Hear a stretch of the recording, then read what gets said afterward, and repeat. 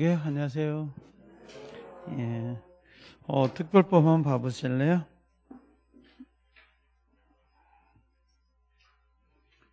어, 이 특별법은, 어, 저번 주는 이론까지 정리가 된 거고, 아, 여기서부터는 이제, 아, 여섯 문제씩 보는 거예요. 주택임대차보호법이 두 문제고, 그 다음에 상가금을 임대차 하나, 나머지 각각 하나씩입니다.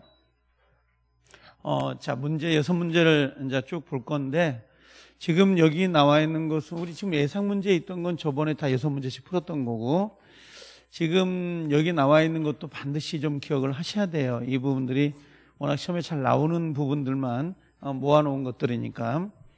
어, 먼저 주택임대차보호법에 관한 설명 중 옳은 거라고 되어 있는데, 우리가 그 다세대가 있고 다가구가 있잖아요. 두 개가. 그래서 아, 이렇게 내놓으면 아, 다세대는 어, 지번도 중요하고요. 아, 플러스 동호수도 중요해요. 근데 다가구라고 하는 게 있죠. 다가구는 어, 지번은 중요하는데 동호수는 중요하지 않죠. 지금 그걸 물어보는 거예요. 그래서 여긴 다세대인데 동호수 표시 없이 그러니까 아, 요거 틀린 거죠. 동호수의 표시 없이 지번만 정확하면 대학력을 취득한다라고 했으니까 X가 된 거고 어, 이번에 주택 임차인이 그 지위를 강화하고자 어, 별도로 전세권 설정 등기를 했다라고 되어 있어요. 그러면 아, 여기 원래 의리 임차인인데 어, 이 의리라는 사람이 다시 전세권 등기를 또 한 거죠. 이렇게 지위를 강화하고자 그러고 나서 어, 임차인 지위에서 법원에다가 배당 요구를 했습니다. 그럼 배당 요구를 하였다면 전세권에 관해서도 배당 요구가 된 걸로 볼 수 있다. 그러면 X가 돼요. 왜겠냐면 어, 임차권으로 배당 요구하더라도 전세권으로 다시 배당 요구를 해야 돼요. 우리 판례는 별개로 보는 겁니다. 권리를 별개로. 자, 세 번째 우선 변제권을 가진 주택 어, 임차인으로부터 임차권과 분리해서 임차 보증금 채권만을 양수할 수 있는 사람은 일반 채권 양수는 안 되고요. 반드시 어, 금융기관이에요. 금융기관이나 에, 은행이 에, 들어가 있어야 됩니다. 그래서 주택임대차보호법의 13조에다가 아예 명문 규정을 뒀어요. 음, 그래서 우리가 임차인이 그 은행에 가서 임차보증금을 어, 대출받을 때는 등기를 할 수는 없잖아요. 임차권이기 때문에. 그래서 그 보증금 반환 채권을 은행에다가 양도하는 걸로 해서 대출을 받습니다. 이걸 그래서 어, 금융기관만 가능하지 어, 채권 양수인 일반 채권 양수인까지 포함이 돼 버리기 때문에 틀린 지문이 돼요. 그래서 반드시 금융기관이나 은행이 여기에 들어가야 됩니다. 자, 그 다음에 4번에 어, 근저당권이 설정된 사무실용 건물입니다. 그러면 원래는 사무실 건물이었고요. 예, 원래는 비주거용이죠. 음, 사무용 건물이었으니까. 그 다음에 여기다 근저당권을 설정했고, 그 다음에 이걸 주거용으로 바꿨어요. 그리고 나서 예, 소액 임차인 들어왔는데, 어, 요게 경매가 넘어가면 이 사무실용의 근저당권자보다 이 소액이 우선해서 변제를 받을 수 있도록 되어 있습니다. 그래서 보증금 중 일정액은 근저당권자의 우선해서 변제를 받을 수 있다. 그래서 4번이 옳은 정답이 돼요. 이렇게. 5번의 주택 임차권의 대항력의 요건인 주민등록이 신고예요. 자, 대항력은 뭐가 있어야 되죠? 어, 인주가 있어야 되는데 이 주 전입신고입니다. 전입신고는 원래 주민센터에 도달이 되고 그다음에 요게 수리가 되어야 되거든요. 음, 근데 여기 도달함으로써 어, 신고로서의 효력이 발생한다 그랬으니까 이건 X죠. 도달 수리까지 들어와야 효력이 발생이 되는 거예요. 그래서 지금 1번 내용들은 모두 알고 계셔야 될 내용들이에요. 이것들이. 자, 2번에 올라가 보시면 주택임대차 보호법. 자, 갑소유 대지 위에 갑의 주택이 있었고요. 그걸 을이라는 사람이 예, 임차를 했습니다. 그러면 원래 갑이라는 사람 주택, 그 다음에 여기에 을이라는 사람이 예, 누가 되는 거예요? 어, 임차인이 되는 겁니다. 이런 식으로. 자, 소액인데 틀린 것은 1번, 어, 갑이 주택을 병에게 예, 매도를 했습니다. 이렇게 매도를 했다. 그럼 여기 매매 대금이 들어간다 그랬었죠? 매매를 했으니까. 그러면 을이라는 사람은 임차권에 기해서 이 매매 대금으로부터 매매 대금으로 최우선 변제를 받을 수 있다 그랬는데 X가 된 거죠.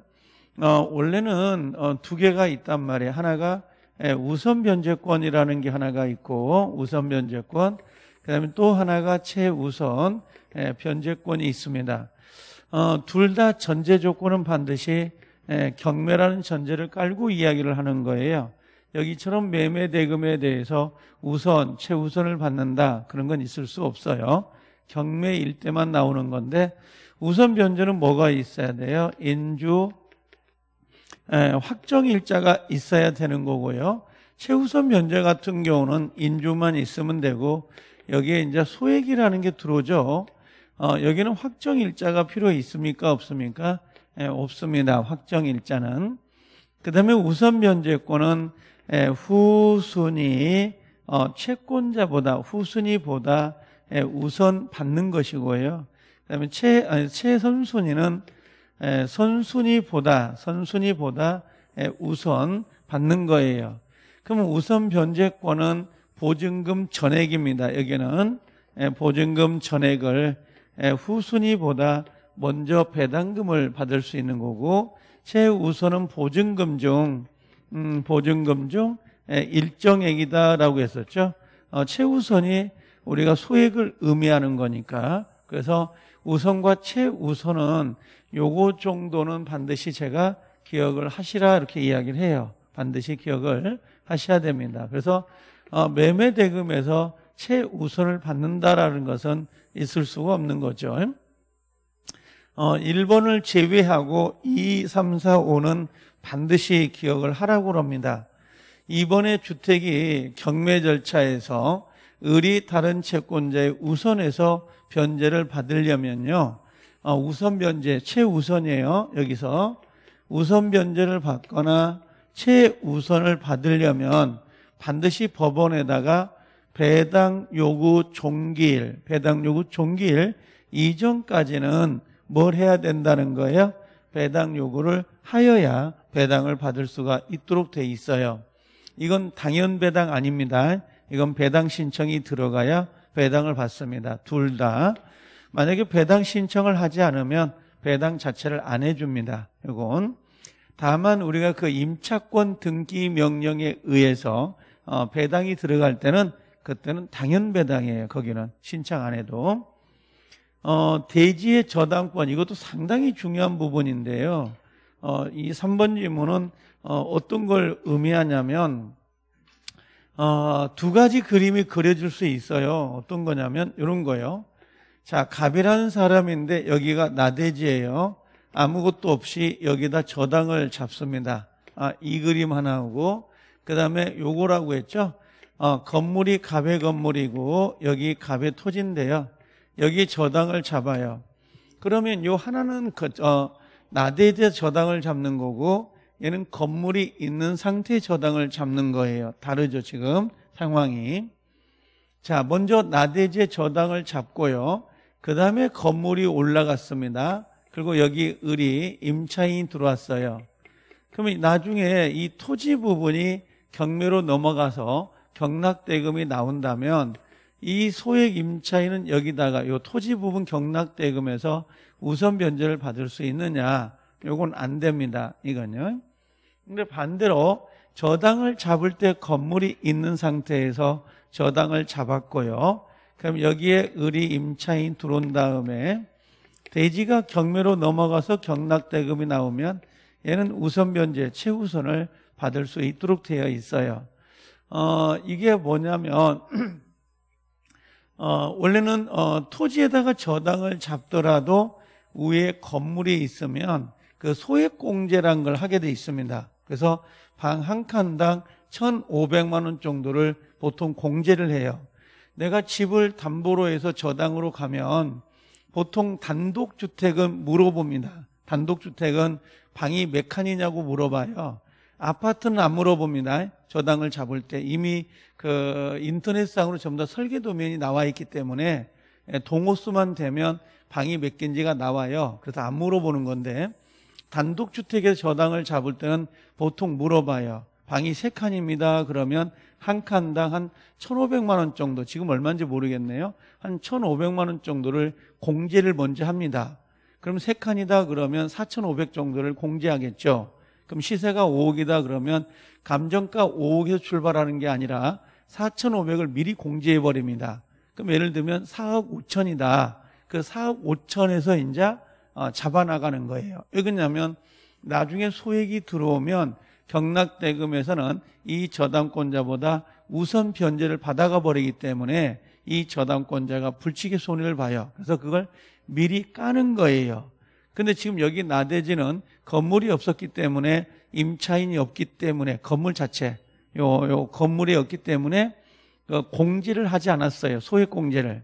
소액 공제를 하지 않았는데 나중에 건물이 올라간 다음에 임차인이 대지 부분에다가 우선 변제를 봐버리면 이 저당권자가 불치기 손해를 보는 겁니다. 그래서 못하게 해요. 둘 차이는 아시겠죠? 그러면 여기 보면 음, 대지에다가 토지에다가 이 글자를 놓치면 안 되는데 너무 급히 읽다 보니까 대지의 저당권을 설정합니다. 토지에다가. 근데 설정 당시에 주택이 미등기인 채로 이미 존재하고 있다 그랬어요. 그러면 토지의 저당을 잡을 때 건물이 있었으니까 당연히 소액이 들어오더라도 최우선을 변제받을 수 있다 없다? 있다라고 하는 겁니다. 만약에 앞에가 나대지에다가 저당을 잡았다 그러면 소액을 못 받습니다. 이건요. 아, 요걸 가지고 고민을 좀 해보면 돼요. 요걸 가지고. 그 다음에 4번에 주택과 대지입니다. 건물이고 대지입니다. 함께 경매가 됩니다. 자, 이게 어떤 거냐면 요게 갑이고요. 그 다음에 요게 갑인데 여기 을이라는 사람이 임차인이에요. 그러면 요게 임차인인데 나중에 경매가 들어갔어요. 뭐 뭐요? 토지도 경매가 들어가고 건물도 같이 경매가 들어갔습니다. 그러면 임차인은 건물 임차인이지만 어, 건물 또는 뭡니까? 토지에 대해서도 안분해서 배당을 받게 돼 있습니다. 얘가 받아야 될 돈이 1억이다 그러면 예를 들면 어, 똑같이 낙찰금이 됐다면 5천, 5천 이런 식으로 배당을 받아요. 그래서 이걸 안분 배당이라 그래요. 안분 배당을 받는 걸 원칙으로 한다 그랬습니다. 토지하고 건물이 같이 경매가 됐을 때 그러는 거예요. 안분 배당. 그 다음에 이 갑이라는 사람이 대지만을 어, 병에게 매도한 뒤에 그 대지가 경매가 된 경우에도 을은 그 어, 환가 대금에서 최우선을 변제받을 수 있도록 되어 있어요. 어, 원래는 갑이란 사람의 건물이고 그 다음에 토지도 갑이 건물이에요. 갑건데 여기에 을이 뭐가 들어가 있는 거예요? 예, 임차인 이렇게 되어 있습니다. 그럼 임대차를 설정할 때 건물 있고 소유자 같습니다. 근데 얘가 병으로 소유자가 바뀌었죠, 이제. 바뀐 상태에서 이게 경매가 들어가요. 경매가 들어가면 을이라는 사람이 이 토지 경락대금으로부터 최우선을 받을 수 있느냐? 받을 수 있다. 이런 의미예요. 그래서 어, 4번하고 5번을 같이 묶어서 어, 기억을 하시면 되고요. 어, 정말 어, 다 중요해요. 2번, 3번, 4번, 5번이 모두 중요한 내용들입니다. 아주 중요합니다. 이걸 어, 반복해서 읽으셔야 됩니다. 반복해서 이걸요. 이해를 안 해도 돼요. 지금은 이해할 시간이 없어요. 그냥 지문을 여러 번 눈에 익히라는 거죠. 그러고 나서 어, 이해하면 더 좋고요. 이걸 한번 동영상을 두 번, 세 번 들으세요. 그러면 훨씬 더 이해가 쉬우니까 이런 부분들은 자, 그 다음에 어, 세 번째 한번 가보면 상가건물 임대차 보호법인데요. 어, 갑이 22년도 10월 29일자 을소유 상가 건물을 을로부터 보증금 10억 원에 임차하였습니다. 그럼 임대인이 누가 되는 거예요? 임대인이 지금. 임대인이 누구예요? 음, 임대인이 을이 되는 거죠. 네, 을소유. 그럼 임차인 누가 돼요? 갑이 되는 겁니다. 누가 누군지를 모르면 안 돼요. 이것부터 파악을 해야 되지. 자, 10억입니다. 그럼 보증금이 10억이면 상가금을 임대차 보호법을 적용할 수 있어요, 없어요? 없습니다. 최대가 9억이기 때문에 서울이 그러나 뭘 된다는 거죠? 그러나 어, 대권 어, 갱삼은 되는 거죠. 적용이 되는 거니까. 자, 갑이 임차인이 갱신 요구권을 어, 최초의 임대차 기간을 포함한 전체 임대차 기간은 10년을 초과하지 않는 범위 내에서만 행사할 수 있다. 그래서 어, 10억이 초과, 10억이 넘었다 하더라도, 10억이 됐다 하더라도 갱신 요구권은 인정이 되는 거죠. 이번에 갑과 을 사이 임대차 계약을 6개월로 정했습니다. 을이 누가 되는 거죠? 을이 예, 임대인이에요. 그러면 임대는 그 유효함을 이 6개월을 유효함을 주장할 수 있다 없다? 예, 있다. 원래 상가금을 임대차 보호법이 적용을 받으면 최단 기간인 약정 금액을 약정요 기간을 임대인은 주장할 수가 없도록 되어 있어요. 임차인은 그 6개월을 주장할 수 있고 임대인은 주장할 수 없는 게 원칙이죠. 근데 뭐예요? 10억이 초과됐기 때문에 9억이 어 그래서 뭡니까? 이건 상인법이 적용되지 않습니다. 그래서 임대인든 임차인든 6개월 주장이 가능한 겁니다. 어, 갱신 요구권을 어, 주장하면 전 임대차와 동일한 조건으로 다시 계약된 걸로 본다라고 돼 있고 자 임대차가 종료된 후에요 보증금을 반환받지 않는 경우입니다. 보증금을 반환받지 못했다. 그럼 갑은 X 건물의 소지지 관할법으로부터 임차권 등기 명령을 신청할 수 있어요, 없어요? 없습니다. 원래 상인법의 적용을 받으면 임대차가 종료됐고 보증금을 돌려받지 못했다면 임차권 등기 명령을 신청할 수 있도록 되어 있는데 얘는 10억이기 때문에 상인법의 적용을 받지 않아요. 상인법의 적용을 받지 않는다는 것은 최단 존속기간, 임차권 등기 명령 제도, 우선 변제권이 모두 적용되지 않습니다. 대권 갱산만 적용되는 거니까. 그래서 X 건물이 경매로 매각된 경우에도 갑 임차인은 특별한 사정이 없는 한 보증금에 대해서 일반 채권자보다 우선해서 변제를 받을 수 있다 없다 없습니다. 원래 상인법은 우선 변제를 받을 수가 있도록 되어 있지만 지금은 10억이기 때문에 상인법 적용이 안 돼서 우선 변제권이 적용되지 않는 겁니다. 이건요. 그래서 이 세 번째는 상당히 이 거꾸로 볼 수 있는 어, 좀 내용이에요. 그래서 반드시 여러 번 풀어야 됩니다. 얘를 프린트를요. 프린트로 끝나는 게 아니라 일주일 동안 요것만 푸세요. 특별법을 일주일 동안. 저번 주에도 일주일 동안 그것만 했을 거 아니에요. 그럼 실력은 늘 수밖에 없으니까 점수가 안 나오면 같은 내용 프린트를 같은 책을 여러 번 반복하세요. 가장 미련하는 게 기출 문제 펴놓고 예상 문제 펴놓고 뭐 펴놓고 뭐 펴놓고 이렇게 하면요. 아예 공부도 안 나가고 진도도 안 나가요. 그래서 지금은 한 70일 남아 있으니까 하나만 보세요. 하나만 일주일 동안 하나만 일주일 동안 같은 내용만 보세요. 같은 내용만. 그럼 걔는 알 거 아니에요. 걔는요. 자, 그래서 어 3번은 지금 정답이 몇 번이 된 거예요? 3번은 몇 번이에요? 음, 5번이에요. 할 수 없다 그랬는데 있다 그랬으니까. 자, 4번을 가볼까요? 4번은 담보 가등기에 관한 법이거든요. 예, 담보 가등기다라고 되어 있는데요.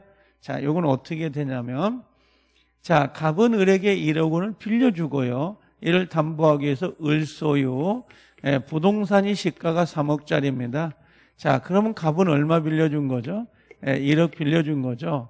채권자가 누구예요? 갑, 채무자가 을인데 채권자, 채무자가 누군지를 모르고 밑을 읽어봐야 의미가 없어요. 그래서 이 설문지를 꼬박꼬박 읽으셔야 돼. 누가 누군지를 정확히 하는 게 중요합니다. 사실관계를 모르는데 이걸 해결할 수는 없죠. 이게 사실관계고 이게 효과거든요, 지금. 효과를 물어보는데 어떤 법률 관계가 있는지를 모른다면 이걸 찾을 수가 없는 거예요. 자, 그러면 만약에 이제 자, 이 변제 날짜에 을이 변제를 했어요, 못 했어요? 예, 못 했어요, 을이. 그럼 당연히 뭘 주는 거죠? 뭘 해요? 예, 실행 통지를 당연히 해야 됩니다. 그 목적물로부터 내 피담보 채권을 공제하니까 예, 청산금이 얼마다 예, 실행 통지를 하고요. 그게 도달이 됐어요. 채무자 등에게. 그럼 뭘 하는 거죠? 음, 청산기간을 예, 주는 거죠. 청산기간 2개월을 줘요. 변제할 수 있으면 변제하세요. 아니면 후순위 채, 후순위 채권자는 경매를 신청할 수 있는 게를 주는 거죠. 이 청산기간 2개월 동안. 근데 변제를 못했습니다.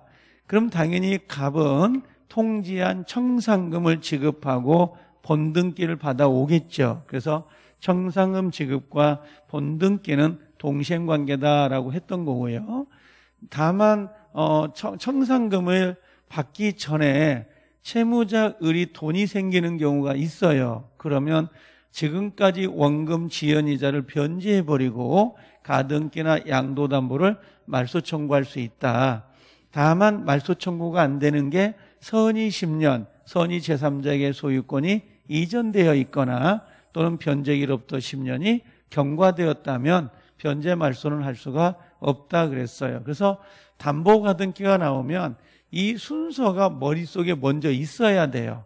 그래야 지문을 읽을 때 따박따박 집어넣을 수가 있거든요. 그래서 요걸 많이 하시라는 거예요. 틀린 것은 자, 1번 갑은 채권자죠. 정상금 평가액을 누구에게요? 채무자 등에게 반드시 통지해야 됩니다. 통지하지 않는다면 얘는 효력이 없어요. 등기를 가져와도. 두 번째, 갑이 을에게 정상금 평가액을 통지한 후에도 갑은 이에 관하여 다툴 수 있다. X가 되죠. 청산금 통제에 대해서는 채권자인 갑은 다툴 수가 없는 거고요. 채무자는 다툴 수가 있는데요. 자, 채무자가 누구냐면 5번이에요. 5번에 보시면 연결해 가지고 자, 을이 누구의 을이에요? 채무자죠. 채무자 을은 채권자 갑이 통지한 청산금액을 다투고요. 정당하게 평가된 청산금을 지급받을 때까지 예, 부동산의 소유권 이전 등기 및 인도 채무 이행을 거절할 수 있어요, 없어요? 있다. 이게 다툰다는 말이에요. 그래서 채권자는 다툴 수 없고 채무자는 다툴 수 있다. 그런 내용입니다. 그 다음에 2번에 자, 을이라는 사람, 을, 채무자는 갑에게 통지한 정상금액에 묵시적으로 동의함으로써 청산금을 확정시킬 수 있습니다. 뭐 이의를 제기하지 않는다든지 뭐 고개를 끄덕거린다든지 꼭 명시적으로만 되는 건 아니에요. 예, 묵시적으로도 가능하다. 그 다음에 4번에 갑이 채권자가 을에게 담보권 실행 통지를 하지 않았네요. 실행 통지를 하지 아니한 상태에서는 본등기를 가져올 수가 없고요. 본등기를 가져왔다 하더라도 당연히 뭐예요? 당연히 그건 무효입니다. 다만 나중에 그 보정을 할 수가 있죠. 보정을 하면 유효가 될 수는 있는 거예요. 그래서 여기는 본등기를 청구할 수 없다 그랬으니까 옳은 정답이죠. 실행 통지를 안 했으니까. 정답은 2번이 정답이 돼요. 뭐 이 정도 나오면 뭐 담보가 등기는 좀 쉬운 어, 해당이 됩니다. 꼭 이 정도는 맞힐 줄 알아야 되고요, 또. 자, 그 다음에 5번의 집합 건물로 가보면 예, 틀린 것은 되어 있는데요. 자, 1번의 전유 부분이에요. 예, 전유 부분은 나만 사는 공간을 말하는 거죠. 그럼 전유 부분은 전유 부분은 구분 소유권의 목적이 될 수 있다 없다 있어요. 그래서 구분 소유권의 객체는 전유 부분을 말하고 공용 부분을 말하진 않습니다. 두 번째 대지 사용권은요. 구분 소유자가 전유 부분을 소유하기 위해서 건물의 대지에 대해서 가지는 사용권을 말하고 이걸 등기하게 되면 대지권 등기 그래요. 대지권 등기. 그래서 우리는 대지 사용권 그러고 공시법에 가면 등기법에 가면 대지권 등기 그럽니다. 자, 구분 소유자의 전원 동의가 있네요.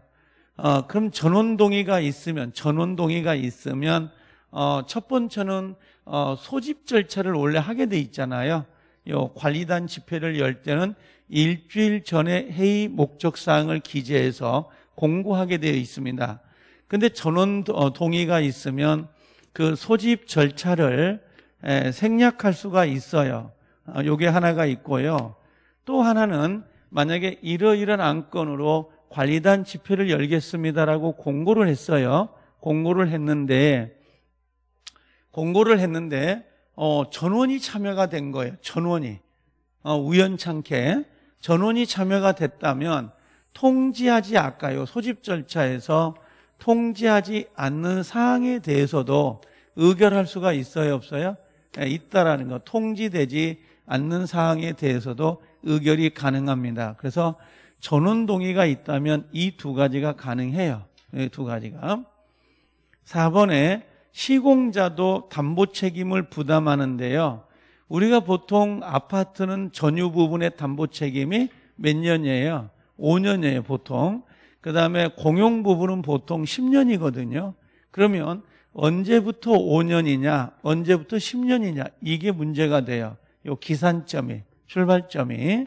그랬더니 아파트, 즉, 전유 부분 있죠? 내가 사는 공간은 인도받은 날, 인도받은 날로부터 보통 5년을 정하는 거고요. 사용 승인이란 말 보이죠? 밑에. 요것은 공용 부분입니다. 공용 부분. 공용 부분은 사용 승인일부터 기산을 합니다. 만약에 어, 사용 승인일이 임시 사용 승인일이라도 상관없어요. 임시 사용 승인이라는 것은 원래 아파트가 설계 도면도로 이렇게 이제 만들어져야 되는데 겨울에 공사가 끝나는 바람에 화단에다가 나무를 심지를 못했어요. 그러면 설계 도면도로 되지 않은 거죠.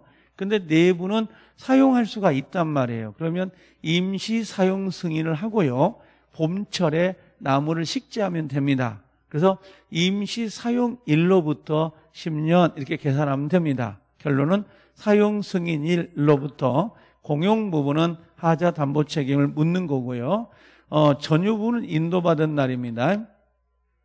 자, 그 다음에 5번은 대지 위에 구분 소유권의 목적인 건물이 있다. 이게 뭐냐면 요게 대지예요. 그리고 건물이 올라갑니다. 이게 백일동이다. 그럼 건물 밑바닥에 차지하고 있는 이 부분 있잖아요. 그죠? 요 부분을 우리가 뭐라고 하냐면 얘를 법정 대지라 그래요. 어, 이걸 법정 대지. 그럼 요 바닥에 있는 거 있죠. 요걸 우리가 뭐라 그래요? 이걸 귀약대지 이렇게 이야기합니다. 예, 법정 대지, 귀약대지 그래요. 그럼 법정 대지는 건물 밑바닥입니다. 어떠한 경우도 분할이 돼야 안 돼요. 음, 분할 청구할 수가 없습니다. 절대로. 근데 귀약 대지는 분할이 되나요? 안 되나요? 안 됩니다. 안 되는데 요건 귀약이 귀약에 의해서 분할이 되는 경우도 있어요. 그래서 어, 좀 차이가 있는데 지금 요 5번 지문은 예, 법정 대지를 말합니다. 이렇게 분할 청구할 수 없다. 그래서 어, 정답은 지금 틀린 거니까 4번이 정답이 됐어요. 자, 5번에요. 5번, 6번에 이제 어, 우리가 어, 담보, 야 명의 신탁이네요. 자, 6번에 보면요. 어, 갑이라는 사람은 22년도 신급을과 명의 신탁 약정을 하고 자, 병소유 어, 부동산을 자, 매수를 합니다. 누가 매수하죠? 갑이 매수를 하고요. 매매를 하고. 그 다음에 이걸 누가 해요? 을이라는 사람이 예, 명의 신탁을 하고, 그 다음에 얘한테 부탁을 해서 예, 등기가 이렇게 넘어왔습니다. 지금 이걸 중간 생략형 명의 신탁이라 그랬죠. 뭐 저번 주에 했던 것 같은데. 그러면 이 명의, 요 매매 계약은 유효인가요? 무효인가요? 유효니까 갑은 병에게 등기 청구권이 있다 없다? 있다. 명의 신탁은 무효죠.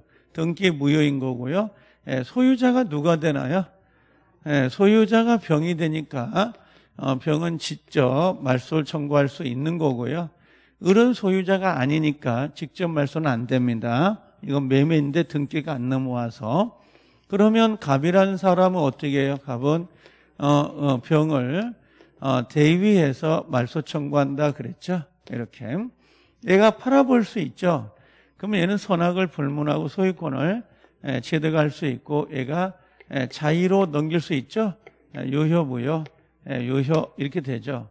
이 그림을 한 다섯 번만 그려보라고 여러 번 이야기를 하거든요. 그러면 충분히 되니까. 자, 어, 을이 X부동산의 소유자이다. 틀린 거죠. 소유자는 누구예요? 병이 소유자가 됩니다. 병이.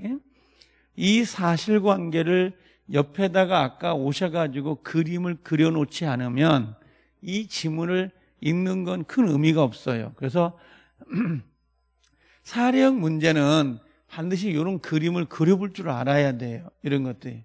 예, 사실관계를 파악하기 위해서. 갑은 명의신탁을 해지하여 X죠.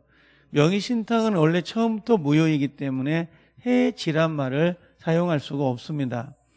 갑은 부당 이득을 원인으로 을에게 소유권 이전 등기를 청구할 수 있다 없다 어, 없어요. 예, 이건 직접 안 된다고 대위해야 되죠. 자 병은 뭐라고 했어요? 병은 예, 진정 명예 회복을 원 진짜 소유자니까 예, 청구할 수 있다 없다 있다. 어, 갑과 을 간의 사실혼 관계는 뭐 명의 신탁이 유효가 될 수는 없죠. 배우자일 때도 그 법률혼 관계에 대해서만 명의 신탁의 유효함을 인정하는 것이지 사실혼 관계는 유효함이 될 수는 없습니다. 그래서 정답은 4번이 정답이 되는데요. 이건 답을 찾는 게 문제가 아니에요. 이 그림을 그려낼 수가 있어야 된다는 거. 그래서 저번에도 이자간, 그 다음에 중간 생략형, 계약 명의 신탁, 요 그림들을 좀 그릴 수가 있어야 됩니다. 꼭 좀. 자, 이렇게 정리해 놓으시면 되네요. 자, 그래서 이거 다른 거 보지 말고 특별법도 그냥 워크북 있으면 거기에다가 일주일 동안 요 문제를 푸세요. 특별 요 같은 문제를 같은 문제를 푸셔야 돼요. 그래야 내가 도움이 되지. 이거 풀다가 요거 풀고 요거 풀면 분위기가 바뀌면 완전히 잘 내 것이 안 돼요. 같은 문제를 계속 반복하면서 해석해 나가는 게 훨씬 좋습니다. 문제를 많이 푸는 건 큰 의미가 없어요. 내용을 알고 푸는 거야 되니까. 자, 그 다음에 이제 어디로 오냐면 우리가 자, 물권법 이제 어디로 와야 돼요? 저기 공유로 오실래요? 172페이지 문제입니다. 문제집. 제가 다음 주 오면 문제를 바로 풀 테니까 그 뭐죠? 공유 관계를 꼭 보고 오시라 그랬을 거예요. 제가 저번에 끝날 때쯤에서. 자, 어디로 오시냐면 어, 공유 관계예요. 이 공유 관계 내용 이 워크 워크북 있잖아요. 어, 보이신 워크북 갖고 다니시니까 볼 수 있죠. 최소한 어, 아, 이따가 어, 어, 다른 건 모르겠는데 민법은 수업을 오실 오시면 일주 오셔가지고 먼저 풀어야 돼요 문제를 여섯 문제를 특별법을 풀고 그 진도가 나갈 부분의 내용을 좀 읽어주세요. 어, 어디냐면 여러분들 23페이지인가요? 23페이지 워크북 23페이지 보면 이 내용이 있어요. 이걸 보고 오시라고 했어요. 제가 꼭 읽고 오시라. 그래서 거기 공유 지분이 먼저 나와 있죠. 4번에. 4번, 5번, 6번, 7번, 8번, 9번, 10번까지 있잖아요. 번호가. 그게 아주 중요해요. 그걸 안 외우면, 그걸 안 외우면 공유를 풀 수가 없어요. 문제 자체가. 이걸. 어, 올해 시험 문제, 공유는, 공유는요, 항상 문제가 나오면 이 스타일로 나오긴 해요. 이것도. 근데 지금 요 스타일. 22번 스타일이 있어요. 우리 문제집에, 예상 문제집에. 이런 스타일로 계속 시험에 나오거든요. 5년 동안. 사례 문제. 그러니까 문제집은 172페이지에 있습니다. 문제집은 172페이지에 있는 거예요. 문제집을 아예 안 풀고 오나요? 그냥 가, 풀고 오죠. 어, 자, 그러면 내용이 오시면 여기가 요걸 좀 보고 오시라는 거였어요. 그래서 자, 공유 지분은 누구 거예요? 지분은요. 예, 각자 거라고요. 지분은 각자니까. 지분 처분은 각자가 한다 그랬죠? 예, 동의 없이 양도하고 저당을 잡는다는 거거든요. 예, 담보로 제공할 수 있어요, 없어요? 있어요. 자, 포기할 때 공유 지분 포기 가능하죠. 이건 등기해야 된다 그랬던 거예요. 등기를 해야 효력이 발생한다 그랬고요. 만약에 지분을 포기하거나 예, 상속인 없이 공유자가 사망하는 경우가 있는데 그 사람의 지분을 누가 가져가요? 그 사람의 지분은 다른 공유자가 예, 지분의 비율로 가져간다 그랬어요. 그럼 여기는 어, 말 그대로 뭘까요? 국유로 가면 안 되죠. 어, 그 다음에 여기는 균등이다 그러면 안 된다 그랬어요. 아, 이건요. 자, 공유물 보존 행위는 1번과 2번 문과해야 되고 3, 예, 4번 문과놔야 되는 것이죠. 그래서 어, 공유가 있는데 공유는 뭐라고 했나요? 값이 2분의 1, 을이 2분의 1이 있을 때 이렇게요. 어, 지금 3자 명의로 등기가 되어 있다. 3자 명의로. 그럼 여기가 A라는 사람 앞으로 예, 단독 등기가 되어 있는 거예요. 이런 식으로. 그럼 이 A라는 사람은 공유자가 아님에도 불구하고 예, 등기가 되어 있을 때 요 을이라는 사람은 이 지분을 뭐라고 해요? 전부 말소 청구할 수 있어요, 없어요? 예, 있다라고 하는 거죠. 3자 명의로 등기가 되어 있으면 전부 말소가 되는 것이고 만약에 갑의 2분의 1이고 을의 2분의 1 토지를 가지고 있다. 그때 요 갑이라는 사람 앞으로 예, 단독 등기가 되어 있어요. 그러면 여기는 공유자 앞으로 단독 등기가 되어 있는 거고 여기는 3자 앞으로 단독 등기가 되어 있는 거죠. 그럼 이 소수 지분권자는 이 단독 등기된 갑에게 이건 뭘 청구하는 거예요? 예, 지분 말소를 청구한 거죠. 갑의 지분은 유효니까 자기 지분만 말소해 달라는 거고 A 등기는 A는 3자니까 갑, 을 전부 말소를 해 달라는 거죠. 그래서 3자 명의의 등기는 전부 말소가 되고 공유자 1인 앞으로 되어 있다면 지분 말소가 됩니다. 이런 식으로요. 자, 그 다음에 3, 4번도 요 근래 31에 32에 계속 문제가 나오고 있는 문제입니다. 이 3, 4번이. 그래서, 어, 아마, 음, 요건 어떤 거였었냐면, 어, 3자가 침해예요. 갑이 2분의 1, 을이 2분의 1이고, 토지를 가지고 있는데, 여기에 A라는 사람이 불법으로 침입을 했어요. 그러면 요 소수 지분권자이더라도 A라는 사람에게 뭐 할 수 있어요? 그 토지를 인도해달라, 인도해달라, 반환해달라라고 할 수 있어요, 없어요? 어, 있는 거고, 치워주세요, 방해 제거를 청구할 수 있고, 지분의 비율로 손배를 청구할 수 있다, 없다? 음, 있다라고 되어 있습니다. 근데 만약에 3자가 아니라 갑이라는 사람 2분의 1, 을이 2분의 1이다. 요 갑이라는 사람이 혼자서 어, 소수 지분권자죠. 2분의 1 사람이 예, 동의도 안 받고 예, 저 전면적으로 사용하고 있다. 이렇게. 그럼 요 을이라는 사람은 여기 갑이라는 사람에게 인도 청구는 돼야 안 돼요. 반환해달라. 된다 안 된다? 안 된다. 만약에 을이 전부 반환 청구를 받아버리면 갑의 2분의 1 사용권이 박탈당하기 때문에 이건 한 대요. 이건 안 되는 거고 여기는 되죠. 여기는 3자니까 공유자끼리는 이게 안 된단 말이에요. 그래서 작년 재작년에 판례가 바뀌면서 핵심이 이거였어요. 그래서 지금 31에 32에 계속 문제를 내는 게 이게 폰코스입니다. 이게 지금. 자, 그 다음에 방해 제거는 돼야 안 돼요? 음, 제거는 되는 거고 2분의 1의 손배는 돼야 안 돼요. 어, 된다 이런 의미예요. 이런 식으로. 그래서 어, 요 차이점을 좀 기억해라 이런 의미죠. 여기 보면 3자 침해는 그죠? 전부 반환이 가능하는데 자, 요 1인 공유자 동의 없이 전부 사용한다. 인도 청구가 안 된다. 여기 인도 청구가 되는데 여기는 안 되거든요. 자, 그다음에 다른 공유자의 지분을 대외적으로 주장할 수 있어요, 없어요?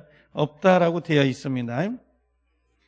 자, 그 다음에 공유물 관리는 뭘로 간다 그랬죠? 공유물 관리는 예, 지분의 과반수로 결정한다 그랬어요. 지분의 과반수. 그래서 여기는 공유물 관리, 공유 관리가 뭐예요? 임대차 특정 부분 사용이죠. 그럼 지분의 과반수권자는 동의 없이 임대차 할 수 있는 거고, 어, 소수 지분권자는 어, 지분 과반수권자가 임차한 사람에게는 방해 제거를 청구할 수는 없고요. 예, 부당이득도 청구할 수 없도록 되어 있죠. 그럼 소수 지분권자는 누구한테 달라는 거예요? 어, 지분의 비율로 차임을 누구한테요?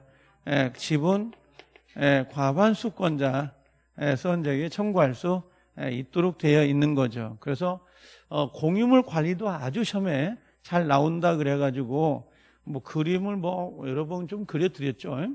그래서 갑이라는 사람이 5분의 3, 을이 5분의 1, 그 다음에 병이 5분의 1이 됩니다. 이렇게. 그래서 이 과반수권자가 갑과 을의 동의 없이 A라는 사람에게 임대차를 했어요. 이런 식으로. 그러면 이 사람은 뭔가 얘한테 물청을 행사해가지고 나가달라 할 수 있어요? 없어요? 없다는 거고 차임 달라고 할 수 있어요? 없어요? 없어요. 어, 차임은 애한테 달라고 하는 겁니다. 애한테. 이렇게. 그걸 말하는 거죠.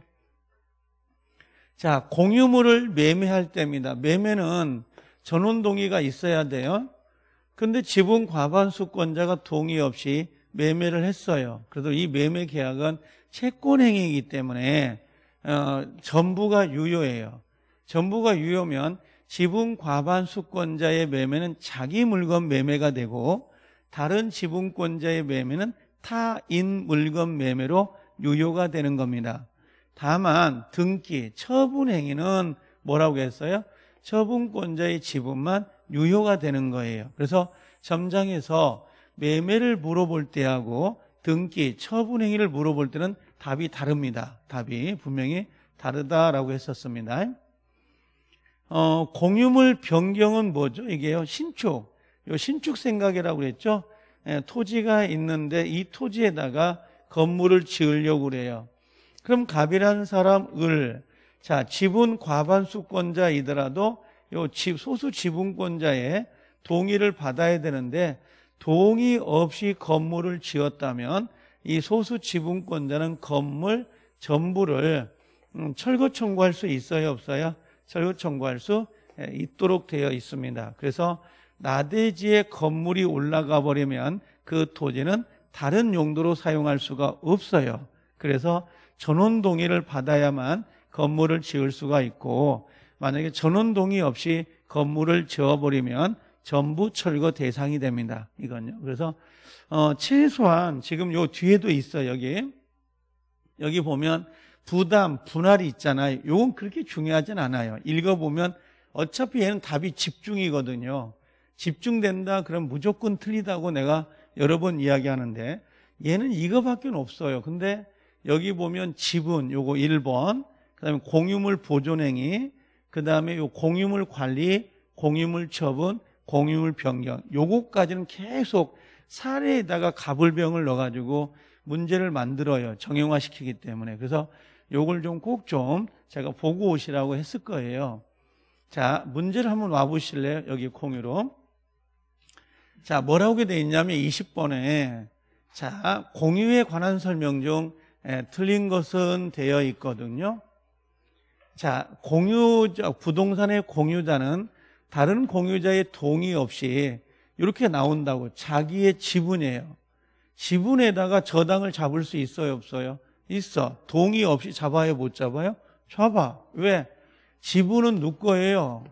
예, 갑작 거니까 동의 안 받고 저당을 잡을 수 있다. 그러니까 앞에 그 내용을 모르면 이 문장을 해석이 안 되는 거예요, 지금. 두 번째, 토지의 2분의 1 지분권자가 이것 2분의 1은 과반수가 아닙니다. 소수 지분권자라 그래요. 과반수권자는 10명 중 6명을 말하는 거고 2분의 1은 5명밖에 안 돼요.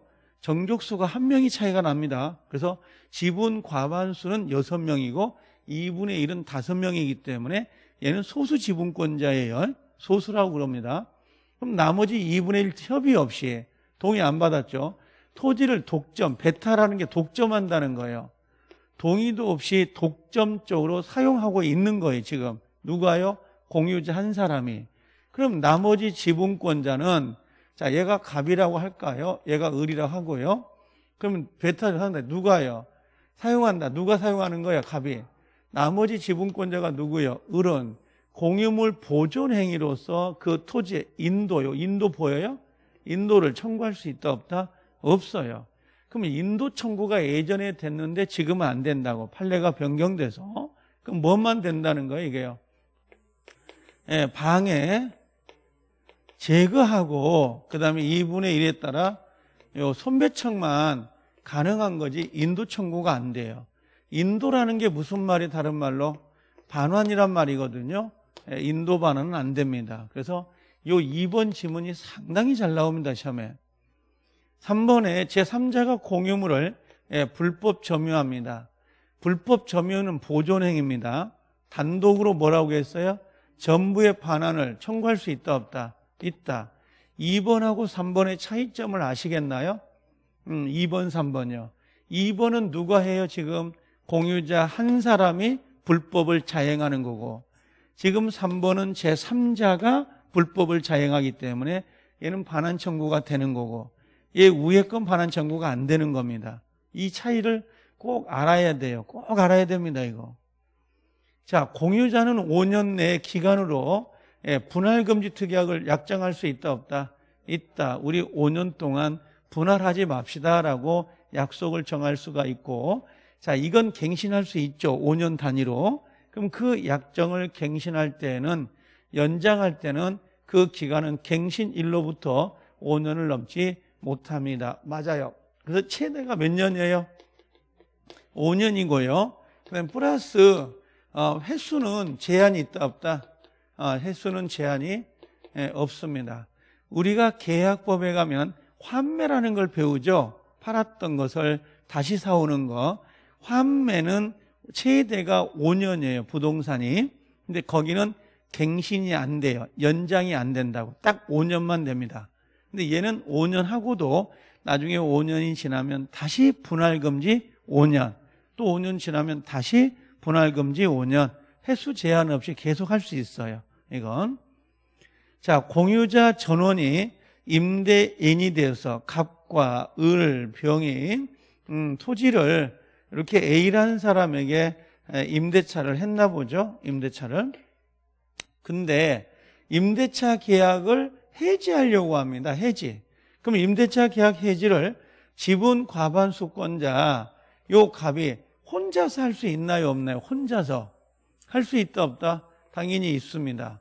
그래서 가불병이 전체가 임대차 계약을 합의해서 임대차를 했다 하더라도 갑이 요 지분 과반수권자가 차임을 올리거나 기간을 연장하거나 그다음에 또 뭐 계약을 깨거나 전부 다 공유물 관리해요. 보존 행위가 아니라 공유물 관리 행위로서 지분 과반수권자가 단독으로 할 수 있습니다. 그러니까 처음에 가불병이 합의해서 임대차, 임대차를 했다고 해서 계속 세 사람이 합의해서 연장할 건지 차임 올릴 건지 말 건지 그걸 결정하는 게 아니에요. 이건 지분 과반수권자가 단독으로도 충분히 혼자 하는 겁니다. 이건 공유물 보존 행위가 아니에요. 이건 관리 행위입니다. 보존 행위, 관리는 지분의 과반수예요. 그래서 5번이 정답이 되는데 버릴 지문이 전혀 없습니다. 꼭 좀 기억하고 가셔야 돼요. 자, 22번에 오시면요. 자, 갑과 을이라는 사람은 X 건물을 공유하고 있는 경우에 관한 설명 중 옳은 것은 되어 있습니다. 자, 그러면 갑이라는 사람과 을이 X 토지를 가지고 있는데 지금 지분이 없잖아요. 지분이. 지분이 없으면 밑에서 지분이 나올 수가 있어요. 예, 그런 것들은. 자, 여기 보니까 어, 1번의 을이 3분의 1이에요. 그럼 소수 지분권자죠. 그러면 동의 없이도 예, 자기 지분을 병에게 처분하지 예, 못한다. 틀렸죠? 지분은 각자 거니까. 2번 소수 지분권자 을이 갑의 동의 없이 X 건물을 병에게 임대를 했네요. 원래 임대차는 공유물 관리니까 지분의 과반수권자가 하는 거잖아요. 근데 누가 했어요? 소수 지분권자가 임대했죠. 근데 물어보는 문제가 뭐예요? 임대차 계약은 유효입니다. 얘가 3분의 1이에요. 그럼 얘가 임대차를 한 거죠. 이 임대차 계약은 유효에 무효예요? 유효예요. 근데 얘는 쫓겨나요. 지분 과반수권자가 임대차를 한 게 아니기 때문에 쫓겨납니다. 근데 지금 물어보는 취지는 임대차 계약이 유효냐고 묻는 거예요. 어, 유효입니다. 타인 물건도 매매할 수 있는데 타인 물건을 임대차 못할 건 아니잖아요. 임대차 계약은 유효이지만 지분 과반수권자가 한 게 아니기 때문에 얘는 쫓겨나겠죠.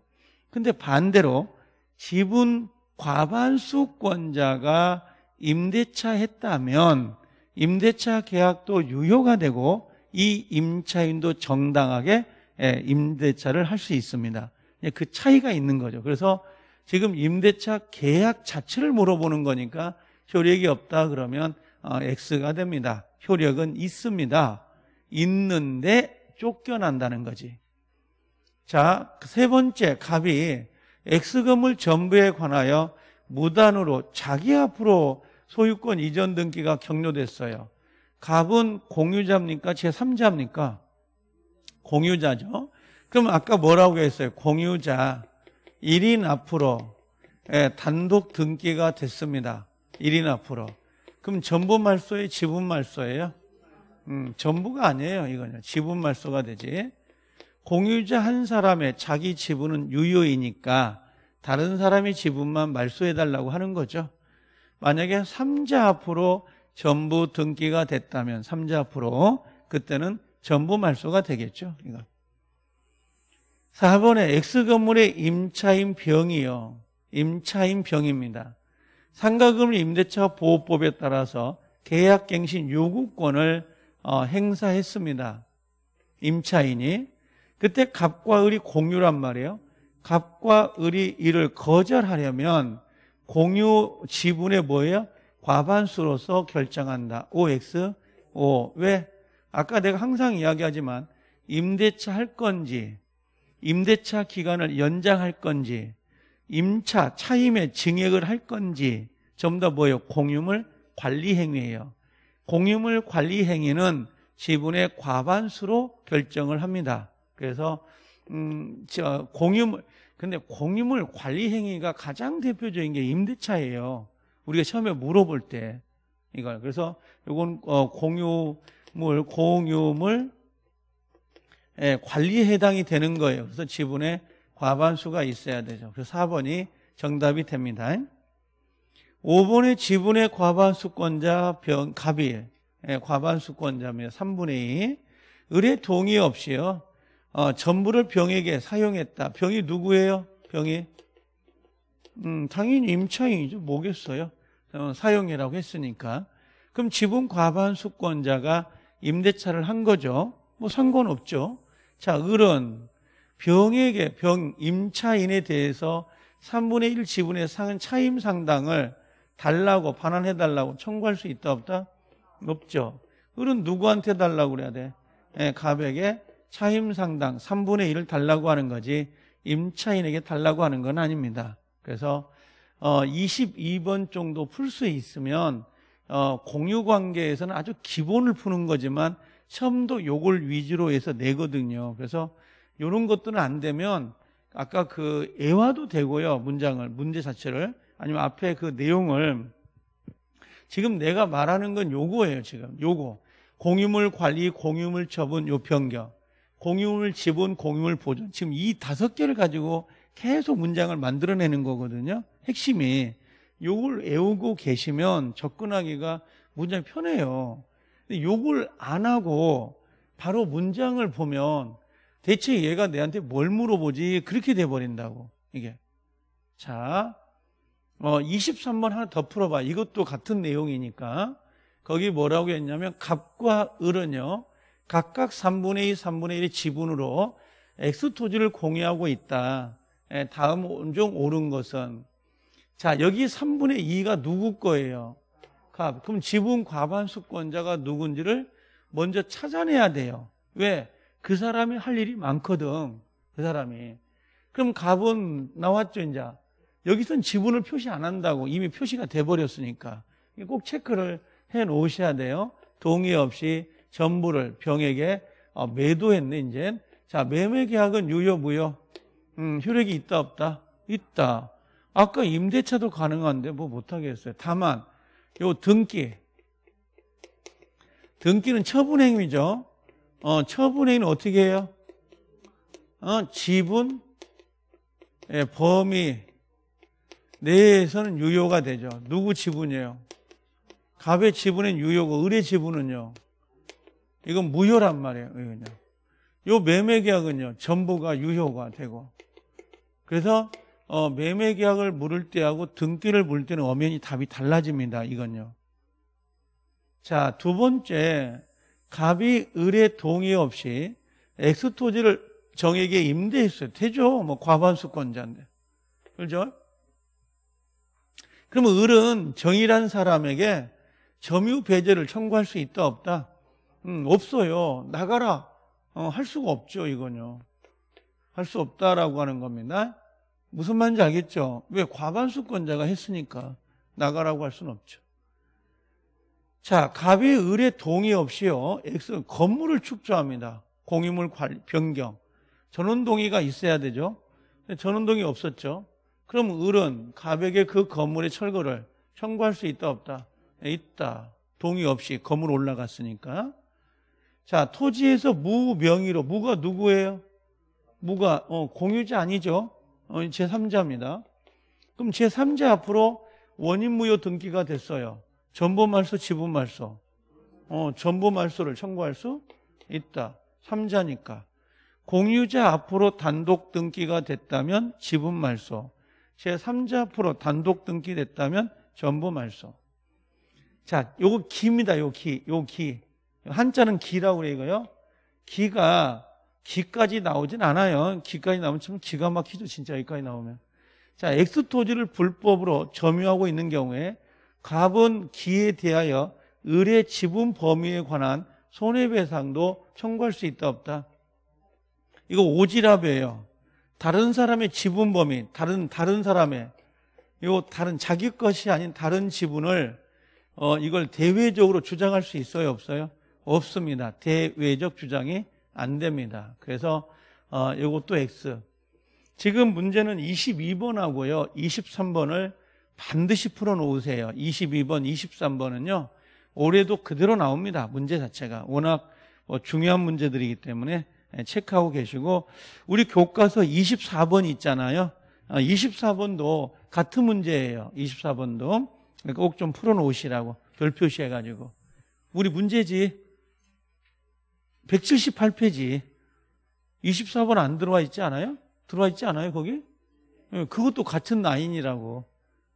여러분들 풀어가라고, 그걸 풀어라고. 내가 풀어주는 게 아니고.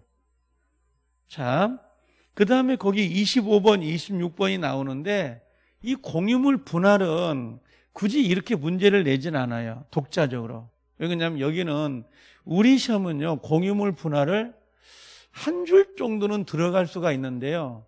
이게 공유가 반드시 한 문제밖에 안 나오거든요. 근데 얘를 낸단 말이에요. 얘를. 얘를 내버리기 때문에 공유물 분할까지 시험 문제가 오질 않아요. 오면 이 사례를 낼 때 마지막에다가 하나를 내요. 예, 그런 형태지 뭐 이렇게 어, 독자적으로 문제를 내지는 않습니다. 공유물 분할에 관한 설명 이거 봐볼까요? 옳은 것은 공유물 분할 청구권은요 채청이에요. 어, 쪼개자 이런 의미니까 경계선을 긋자. 그러면 이건 소멸시에 걸리냐고 물어보거든요. 시효로 소멸한다 그랬는데 X예요. 이 공유물 분할 청구권은 형성권이에요. 우리 시험범위는 아니지만 하나만 외우세요 그냥. 공유물 분할 청구권은 예, 소멸 시효에 걸리지 않는다. 요거 하나만 체크해 놓으세요. 자, 그 다음에 원래 공유물 분할은 협의 분할이고 협의가 안 되면 그때 가서 뭘로 가요? 예, 재판상 분할로 갑니다. 그럼 재판상 분할할 때는 현물 분할이 원칙입니다. 예, 둘 중에 하나를 선택하는 게 아니에요. 현물 분할을 원칙으로 해요. 토지를 쪼갠다고.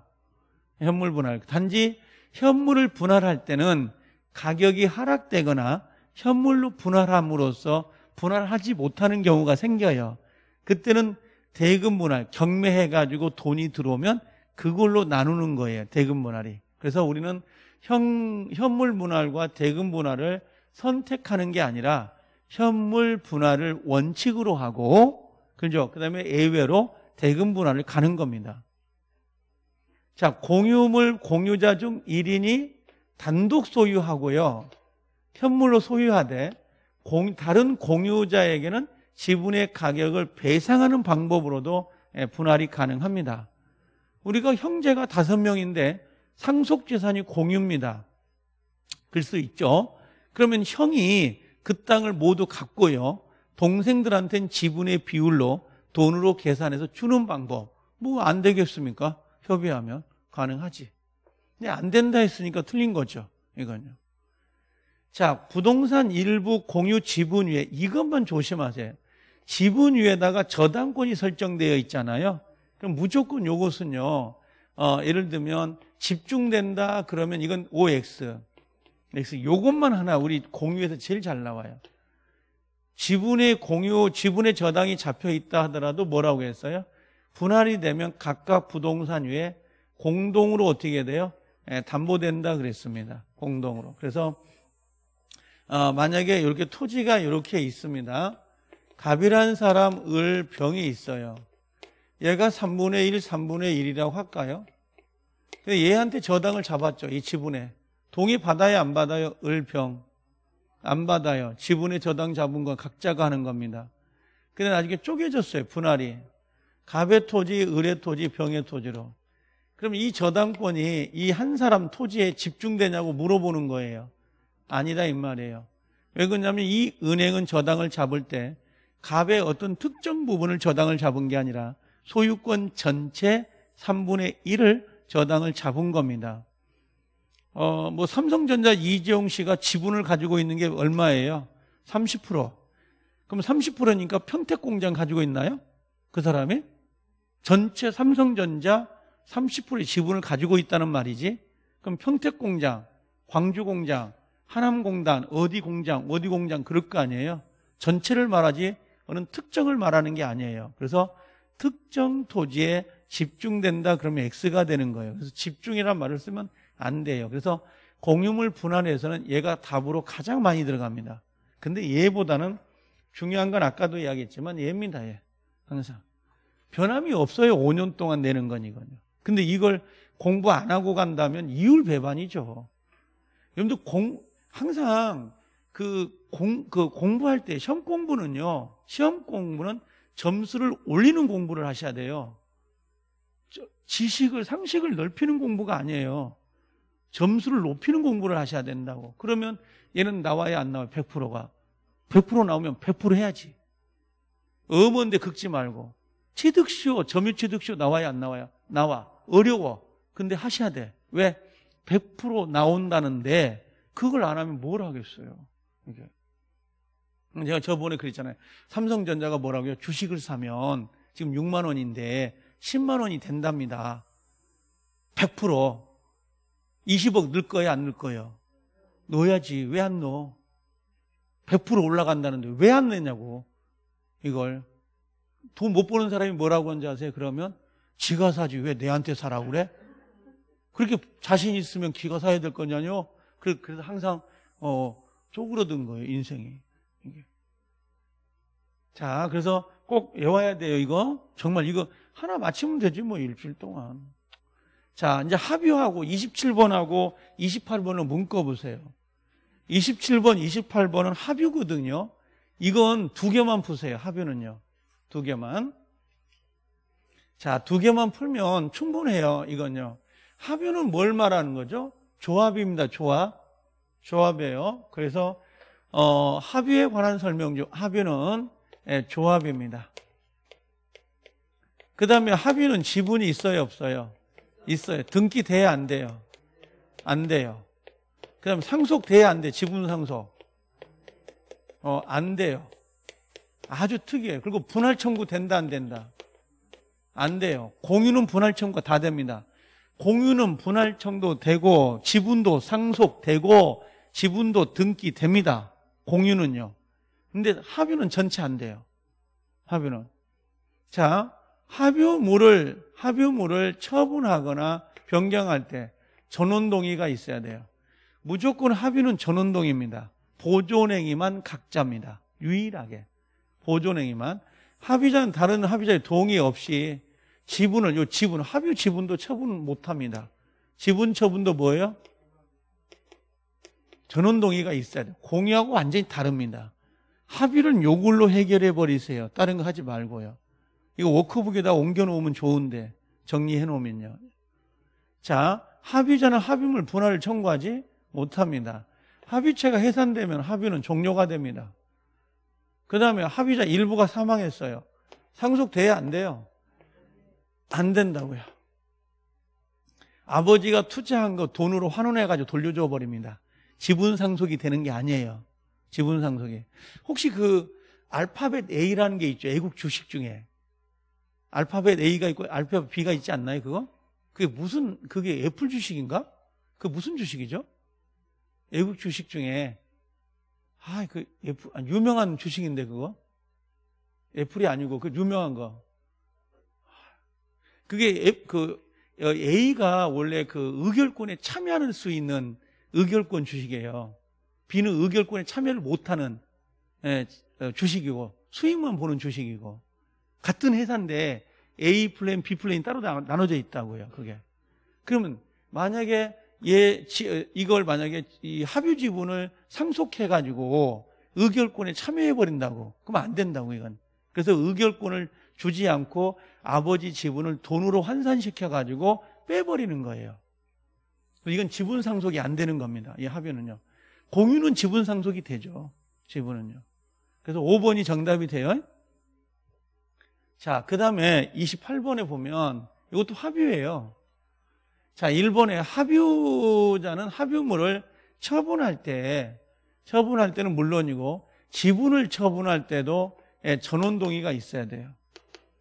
근데 보존행위는 누가 해요? 각자. 그래서 합유에서 유일하게 단독으로 할 수 있는 게 보존행위예요. 그 다음에 합유 지분 포기도 된다, 안 된다? 돼. 근데 등기해야 됩니다. 예, 무조건 공유 지분 포기, 합유 지분 포기, 지상권 포기, 전세권 포기, 예, 등기해야 됩니다. 어, 총유물이 뭐예요? 총유, 비법인 사- 같은 사람입니다. 이게 뭐예요? 예, 권리 능력이 예, 없는 예, 사단을 의미하는데요. 권리 능력 없는 사단, 얘들은 누구를 말하는 거죠?